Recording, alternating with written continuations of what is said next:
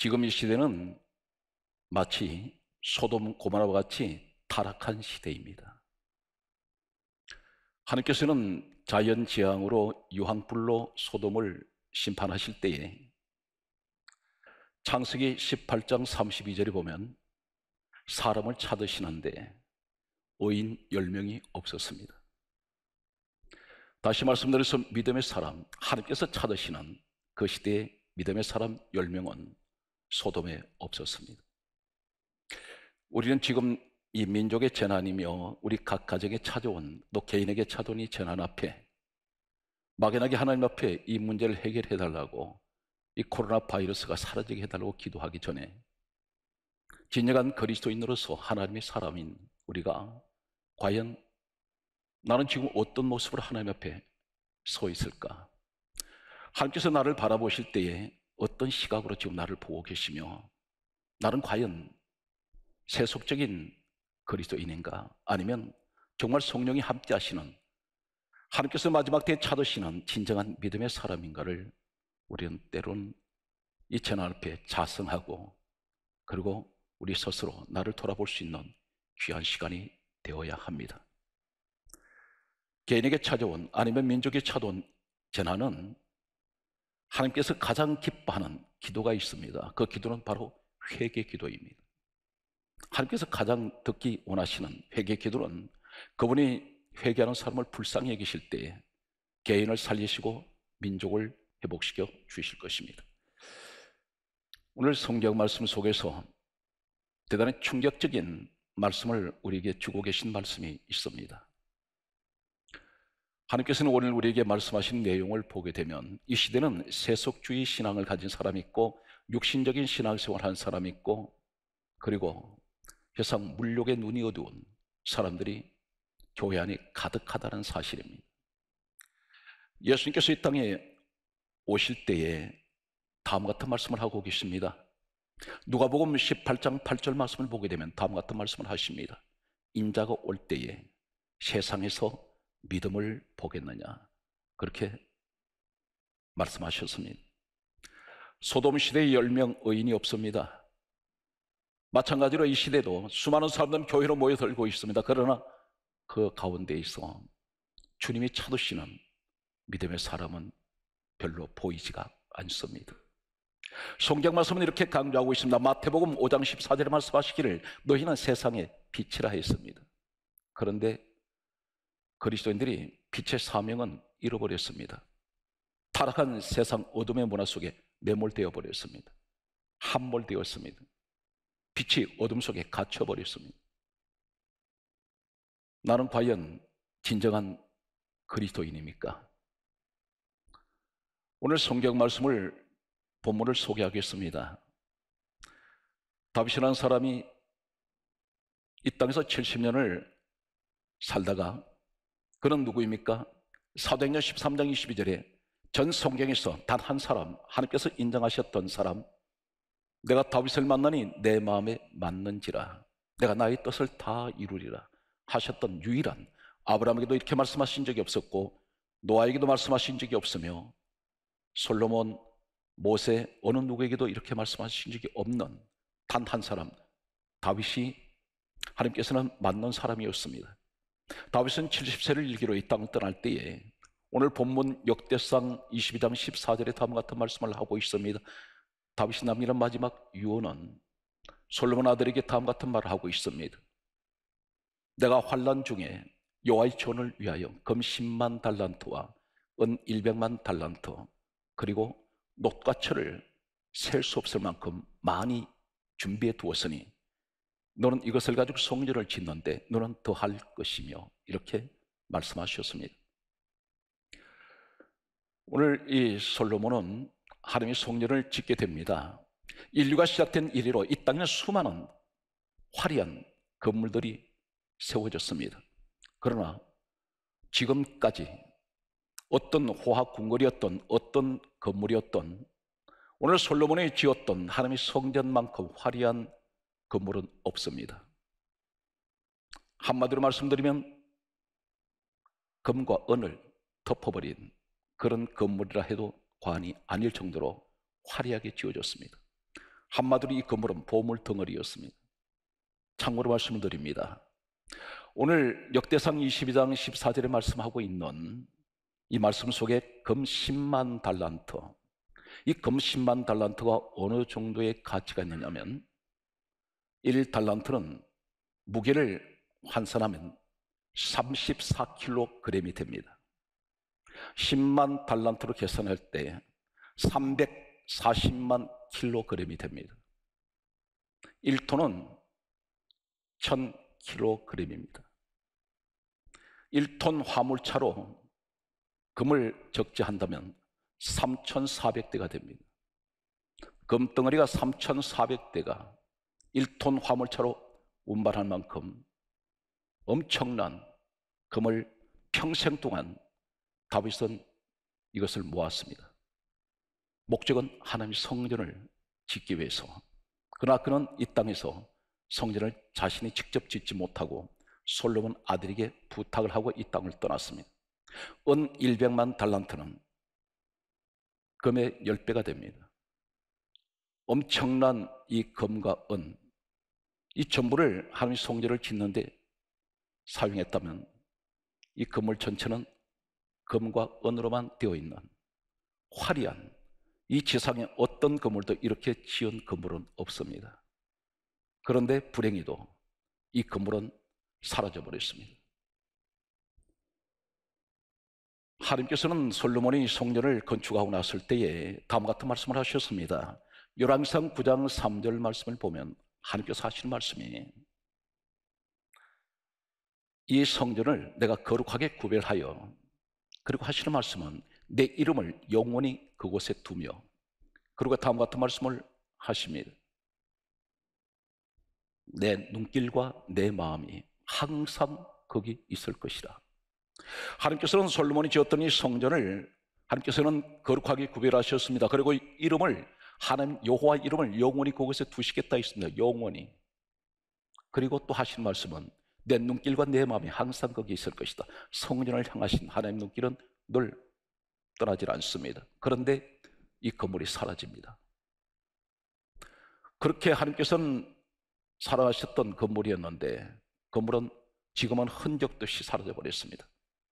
이 지상의 최고의 건물로 가장 화려하게 지어졌던 하나님의 성전이었습니다. 왜 사라졌을까요? 시간이 흘러가면서 역사는 이렇게 정언하고 있습니다. 에스겔 8장 6절 말씀을 보게 되면 하나님께서 이렇게 말씀합니다. 인자야 이스라엘 족속들이 행하는 일을 너는 보느냐 이렇게 말씀합니다. 우리에게 지금 말씀하고 있습니다. 너는 이 성전의 모습을 네가 지금 이렇게 보고 있느냐? 그리고 하시는 말씀이 그들이 여기에서 여기가 어디입니까? 성전에서 그 성전이 어디입니까? 솔로몬 성전에서 여기에서 크게 가정한 일을 행하여 하나님께서 이렇게 말씀합니다. 나로 내 성수를 멀리 떠나게 하노니라 그렇게 말씀하셨습니다. 멀리 떠나버리셨습니다. 하나님이 떠난 이 성전은 껍데기입니다. 건물만 화려하게 남아 있습니다.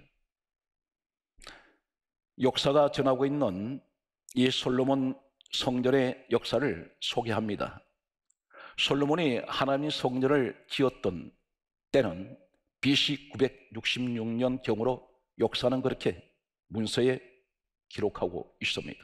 고대 문서는 그렇게 기록하고 있습니다. 이로부터 약 380년이 지났습니다.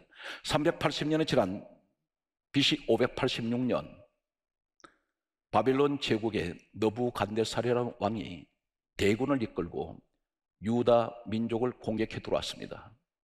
그리고 하나님의 솔로몬 성전이 있는 예루살렘 성을 공격을 해서 들어왔는데 이때 바벨론의 노부갓네살 왕은 화려하게 지어졌던 솔로몬 성전은 이렇게 성경은 또 기록하고 있습니다. 7년 동안 지었습니다.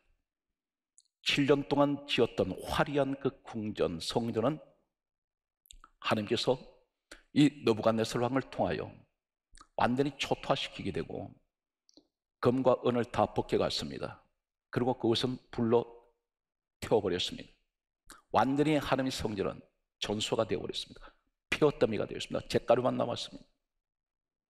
이때가 역사는 BC 586년으로 전해지고 있습니다. 이로부터 70년 세월이 흘렀습니다. BC 515년 바벨론에 포로로 잡혀갔던 BC 586년에 바벨론 노부갓네살 왕이 유다를 공격하면서 많은 포로를 잡아갔습니다. 이로부터 약 70년이 흘렀던 BC 515년에 제1차 포로들이 자신의 고국인 유다 땅으로 돌아오게 됩니다. 그들은 에루살렘 성을 찾아왔습니다. 하나님 성전은 완전히 폐허가 된 지 70년 세월이 흐르면서 잡초만 무성하게 남아 있었습니다. 그들은 하나님의 성전을 복구를 하기 시작합니다. 그러나 그들은 아무런 힘이 없습니다. 본래의 모습으로 복구를 할 수가 없었습니다. 이로부터 많은 시간이 흘러갑니다. BC 20년 로마 제국에서 이 유대 민족을 통치하고 있을 때에 로마 제국에서 로마 정부는 헤롯이라는 사람을 유대의 왕으로 그곳으로 파송하게 됩니다. 이때가 예수님께서 이 땅에 태어나실 때였습니다. 이 사람은 정치가입니다. 그는 하나님을 섬기는 사람이 아닙니다. 그는 정치적인 목적으로 유대 민족의 가장 큰 소원인 하나님의 성전 복구를 위하여 이 사람은 대대적인 성전 복구를 위해서 많은 투자를 하게 되고 하나님의 성전을 짓게 됩니다. 그러나 하나님 이것을 허락지 않습니다. AD 70년 로마의 디도 장군은 10만 대군을 이끌고 유다 민족으로 쳐들어옵니다. 그리고 예루살렘 성을 공격을 해서 완전히 이 예루살렘에 있는 하나님의 성전은 또 무너져 버립니다. 예수님께서 예언하셨던 돌 하나도 돌에 남지 아니하고 다 무너뜨리우리라 하셨던 이 사건이 역사에 그대로 기록되어 있습니다. 하나님께서는 왜 그렇게 솔로몬이 7년 동안 금 10만 달란트, 은 100만 달란트, 녹과 철을 셀 수 없을 만큼 많이 준비해서 지어졌던 가장 화려한 웅장한 이 성전을 하나님께서는 더 이상 영광을 받지 아니하시고 떠나버리셨을까요? 그리고 지상에서 이 성전은 흔적도 없이 사라지게 만드십니까? 솔로몬이 성전을 건축한 후에 이 성전이 완전히 없어지기까지 한 가지가 계속해서 그 성전 안에서 똑같은 일이 자행이 되고 있었습니다. 하나님께서는 이 유다 민족에게 하신 말씀이 있었습니다. 왕으로 세워지는 사람은 네 가지를 지키라고 했습니다. 그것이 신명기 17장 16절에 보게 되면 병거를 많이 두지 말며 이렇게 말씀하셨습니다. 군대를 많이 조직하지 마라 그 말씀입니다. 병거 군사들을 많은 군사들을 거느리지 말라. 무슨 말씀입니까? 하나님께서 통치하시고 하나님께서 보호하시고 하나님께서 지키시기 때문에 이 민족은 내가 통치하고 내가 지켜줄 것이라는 것입니다. 세상 군대를 힘을 의지하지 말고 그건 내세우지 말고 세상 힘을 자랑하지 말라는 것입니다. 그런데 솔로몬은 어떻게 했습니까? 여러왕기상 10장 26절에 보게 되면 이 솔로몬이 병거라고 되어 있습니다. 성경은 병거 1400대를 두었습니다. 이 병거는 전차입니다. 다시 말해서 전차 군단입니다. 당시에 오랫동안 세계를 지배하고 있던 애굽이 있었습니다. 모세 시대 때에 이 거대한 애굽이 세계를 지배하던 초강대국인 애굽에서는 전차가 몇 대가 있었을까요? 출국기 14장 7절에 보게 되면 병거가 600대가 있었습니다. 그런데 작은 약소 국가인 이 유다 민족은 1400대의 전차를 가지고 있었습니다. 가장 큰 나라이며 민족인 액보다도 약 두 배 이상 전차를 가지고 있었습니다. 하나님께서는 병거를 많이 두지 말라. 이 말씀은 너는 너 힘을 의지하지 말고 육신의 힘을 의지하지 말고 하나님을 의지하기 위해서 너는 병을 많이 두지 말라 했습니다. 그러나 솔로몬은 하나님의 말씀을 정면으로 거역했습니다. 그런 자신을 드러내기 좋아했고 과시했습니다. 두 번째, 하나님께서는 이 솔로몬에게 왕으로 세워지는 사람에게는 또 한 가지 하신 말씀은 신명기 17장 17절을 보게 되면 아내를 많이 두지 말라 했습니다. 주변에 아내들을 많이 끊어지 말라. 그렇게 말씀하셨는데 이 솔로몬은 열왕기상 11장 3절에 보게 되면 후궁 700명, 처벌 300명을 두었습니다. 1000명의 아내를 거느리게 됩니다. 이 여자들은 대다수가 이방 민족의 여자들입니다. 이 사람은 자신의 머리를 믿고 주변 나라들과 친교를 하고 그곳에 있는 귀족들이나 왕족 출신의 여자들을 아내로 맞아들이면 전쟁이 없이 화친할 줄 알았습니다. 그런데 결과는 하나님만 섬기던 이 민족이 천명의 여자들이 들어오면서 그들이 섬기던 신들을 가지고 들어왔습니다. 그리고 이 솔로몬에게 강요를 합니다. 자신이 섬기는 신을 섬기라고 말합니다. 성경 말씀은 이렇게 기록하고 있습니다. 열왕기상 11장 4절에 보게 되면 다른 신들을 가지고 들어왔다고 했습니다. 그리고 급기야는 이 솔로몬은 열왕기상 11장 9절에 보게 되면 성령 강자입니다. 솔로몬이 여호와를 버려버립니다. 여호와를 떠났습니다. 하나님을 떠나서 다른 신들을 섬기기 시작합니다. 하나님 진노를 사게 됩니다. 한마디도 하나님 말씀을 듣지 않습니다. 세 번째는 하나님께서는 신명기 17장 17절에 말씀하고 있습니다. 자기를 위하여 은금을 쌓지 말라. 재물에 욕심을 갖지 말라 있습니다. 왕으로 세우신 분도 하나님이신데 그리고 그 당시에 솔로몬에게는 어느 왕 시대보다도 가장 많은 황금을 많은 부귀영화를 주셨습니다. 금은 부하가 넘쳐났습니다. 그런데 이 사람이 어느 정도로 재물의 혈안이 되어서 물질을 긁어 모았느냐면 급기야는 성경 이렇게 강조하고 있습니다.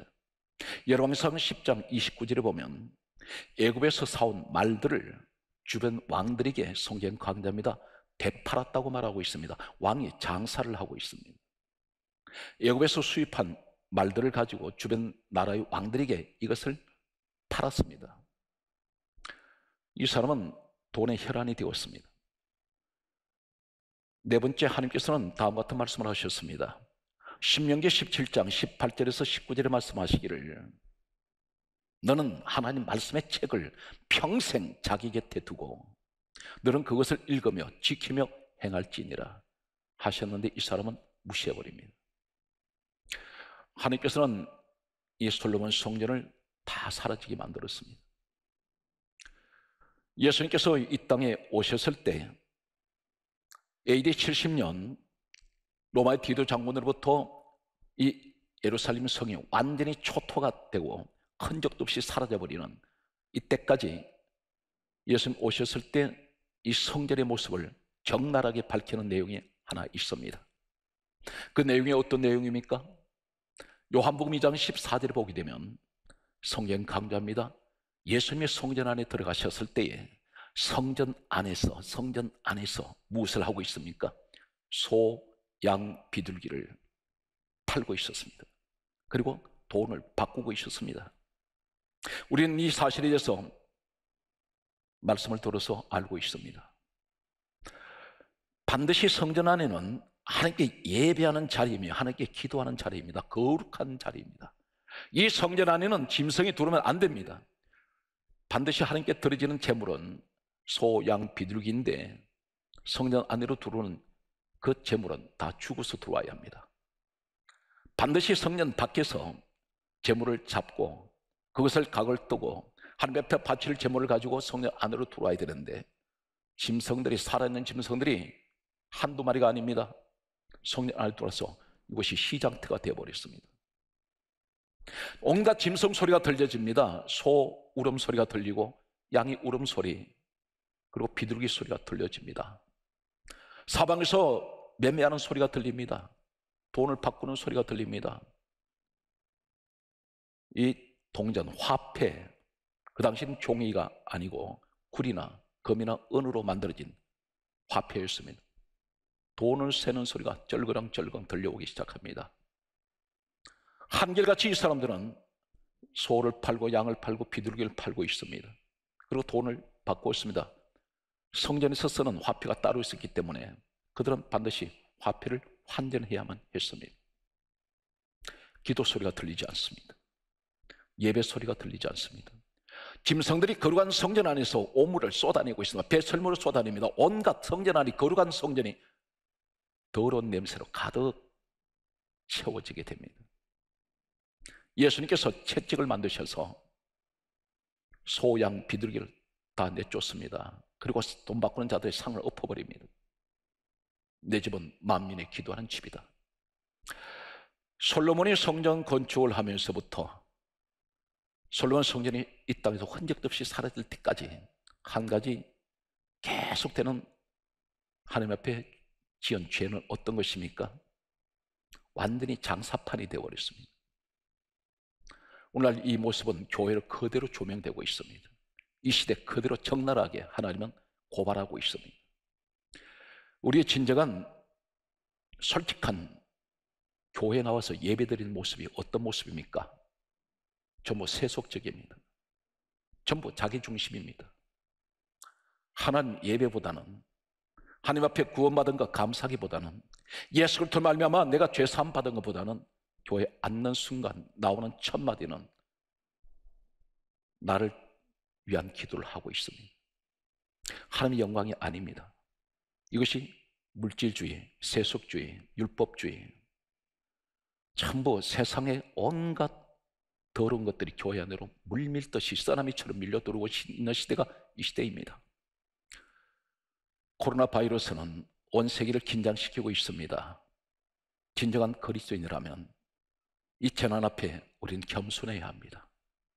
그리고 과연 나는 지금까지 내 신앙생활이 허세와 허영과 껍데기밖에 없는 위선적인 그런 모습으로 신앙생활을 했지 않았는가? 우리는 다시 한번 하나님 앞에 겸손하게 내가 무릎을 꿇고 회개할 수 있는 그리고 나를 돌아볼 수 있는 자성의 시간이 되었으면 합니다. 마태복음 24장 1절에 보게 되면 제자들이 성전 건물을 가리켜 보이려고 예수님 앞에 나왔습니다. 성전 건물 보이려고 합니다. 누구한테? 예수님께 보이려고 했습니다. 왜 보입니까? 자랑하고 싶었습니다. 이 건물이 얼마나 웅장합니까? 그 모습을 보이려 했더니 예수님께서 이 말씀을 하셨습니다. 마태복음 24장 2절에 내가 돌 하나도 돌에 남지 않고 다 무너뜨리우리라. 그러면서 하시는 말씀은 이렇게 말씀하고 있습니다. 요한복음 2장 19절에 말씀하시기를 성전을 헐어버리라. 그렇게 말씀합니다. 하나님 집인 성전을 헐어버리라고 말씀합니다. 이런 성전은 필요가 없다는 것입니다. 이런 성전은 아무런 의미가 없다는 것입니다. 쓸모가 없다는 것입니다.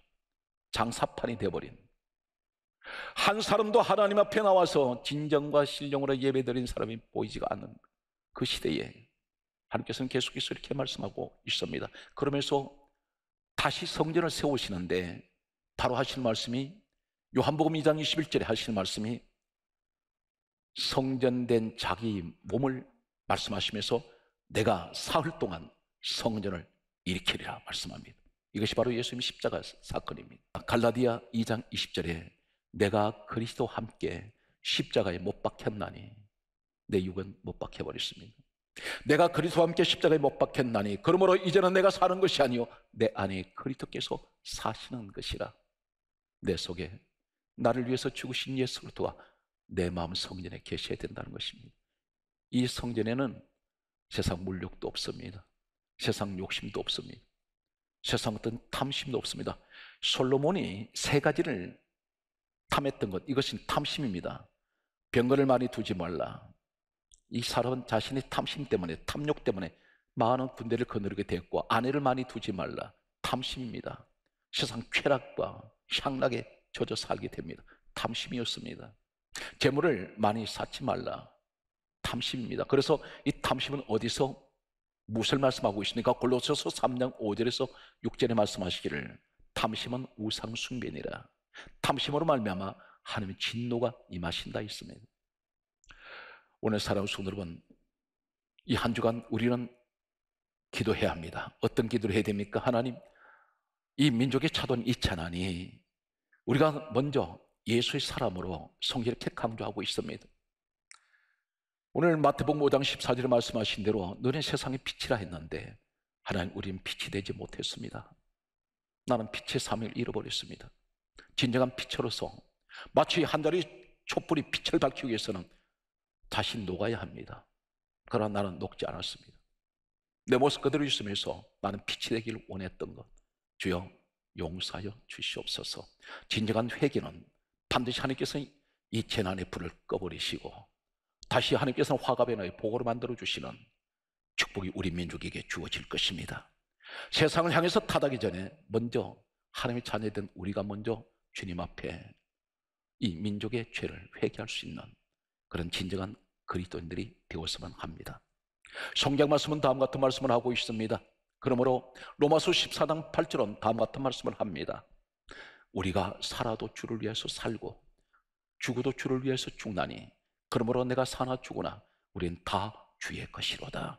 이 고백이 있는 오늘 사랑하는 성도 여러분 이 되시길 바랍니다. 성경 말씀은 계속해서 빌립보서 1장 20절은 그러므로 우리에게 이렇게 말씀하시고 우리가 이 고백이 있어야 됩니다.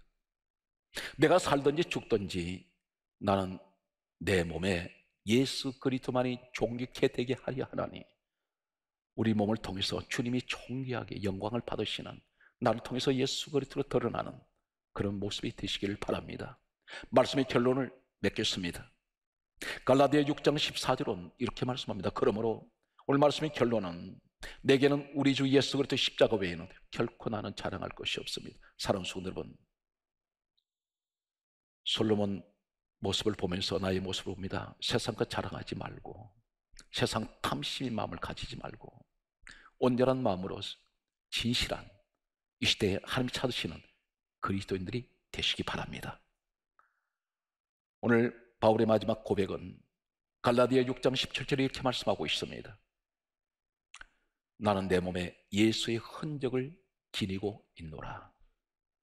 우리는 어느 곳에 가든지 예수의 흔적이 내 몸에 있어야 됩니다. 내 입에서 아니면 내 눈에서 내 귀에서든지 내 손에서 아니면 내 발에서 내 마음에서 예수의 흔적을 가진 이 시대 진정으로 하나님께 찾으시는 믿음의 사람들이 되셔서 이 한 주간도 하나님께서는 여러분 가정을 지켜주시고 부하시는 아름다운 축복된 한 주간이 되시기를 주 예수 이름으로 축복합니다.